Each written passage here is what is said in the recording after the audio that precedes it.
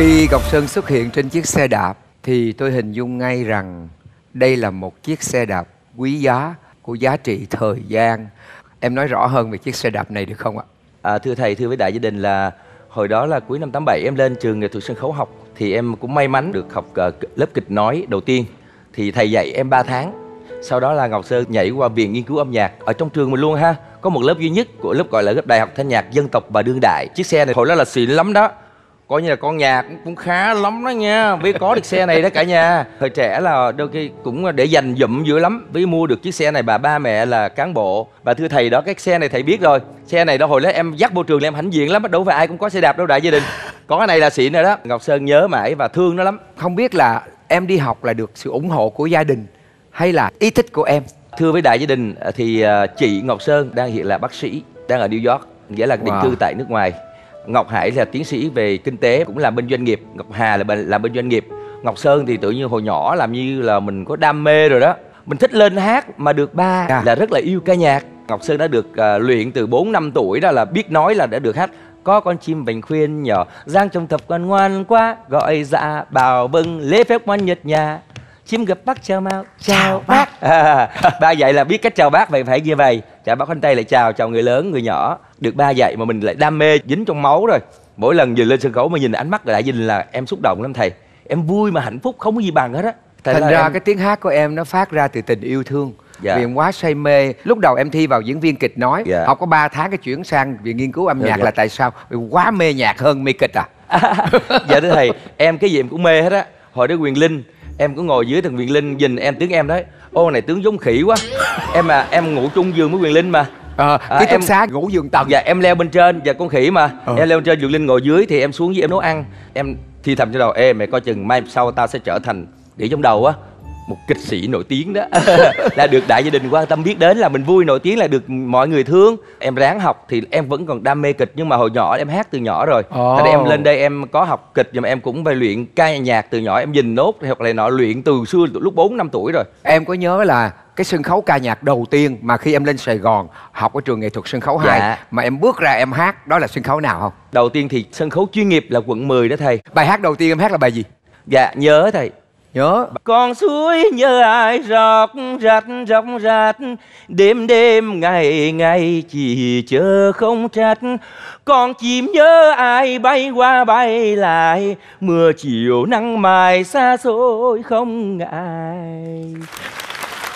Em ơi, ờ, cái thời mà em hát ở lúc ban đầu á Nó Dạ. có vang như bây giờ không? dạ thưa thầy là lớp của ngọc sơn là lớp à, của viện nghiên cứu âm nhạc việt nam tại lớp này có đúng một lớp thôi lớp này tuyển hồi đó là 12 anh chị với ngọc sơn là mở gấp.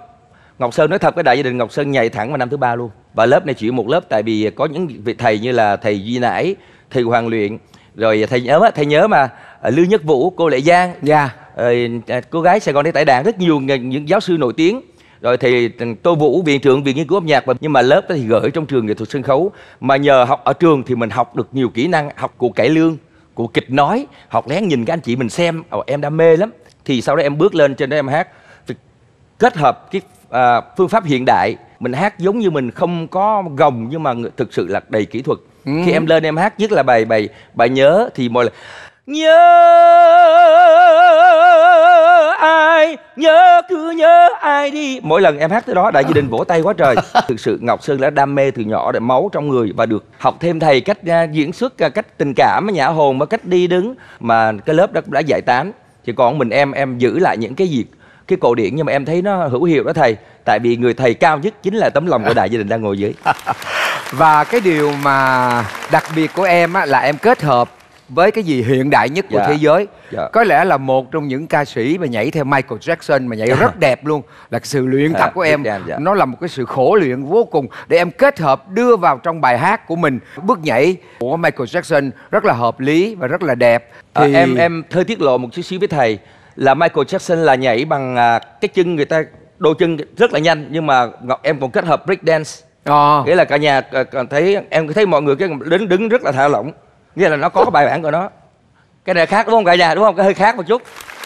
Em học rất nhiều. Em học từ các thầy và em học nghiên cứu từ video băng và nhìn nghiên cứu nhìn sâu vào con người ta là giải phóng cơ thể. Và từ đâu mà em chuyển sang bolero một cách ngọt ngào như vậy được? Thưa với đại gia đình khi hát trên quận 10 thì em thấy mọi người hát nhưng mà thấy đại gia đình thích cái tình cảm lắm. Ừ. và em cũng là người nghiên cứu của viện nghiên cứu âm nhạc nghiên cứu về ngũ cung về tình cảm. Ừ. ngũ cung là như thế nào họ sự sang sẽ cống thí dụ vậy đó nói được nhưng về nhận định được nó nằm ở cái sóng nào trong bài hát chưa thấy ai giải thích cái đó. Ngọc sơn em có giải thích cái này là trên chương trình một chương trình bolero. Đó giống như long mẹ của em nằm trong ngũ cung tình cha nằm trong ngũ cung. Em biết là ngũ cung là cái hơi thở cái tình cảm của con người việt nam.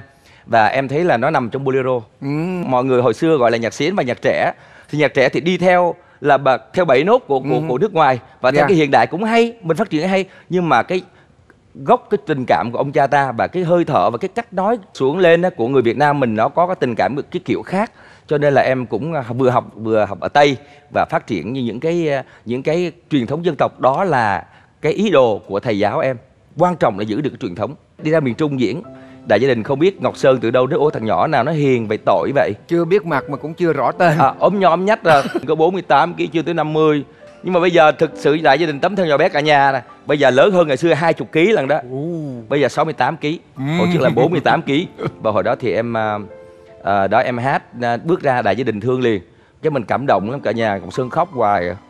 và khi đến một cái giai đoạn người ta tự phong cho em làm ông hoàng nhạc sến thì em có hài lòng với danh hiệu này không?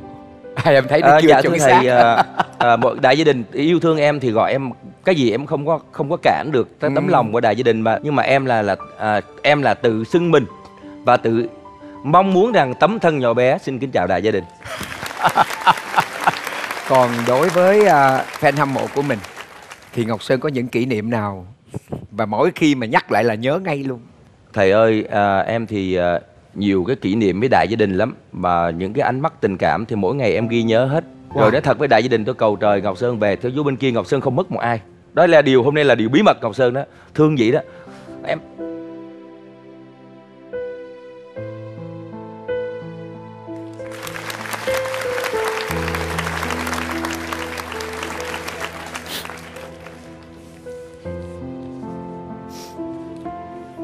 Cảm ơn thầy.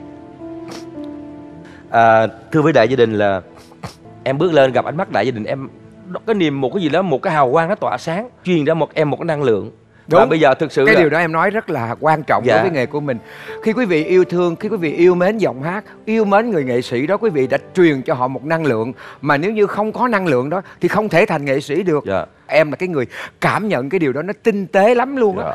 và nó duy trì tuổi trẻ giọng hát hình thể sức khỏe mọi thứ đó là cái em trao tặng và được phản hồi lại cho nên em làm cái gì cũng hết mình cả con tim em đặt vào ngay cái vị trí đó và tan chảy ra cho tất cả. Cho nên cái điều đó nó không mất đi mà nó cầu vòng và nó hội tụ lại. Cho nên em mới có mặt ở đây Dạ. lúc này và ngồi đây để chia sẻ tình yêu với quý vị khán giả với quý vị fan hâm mộ của mình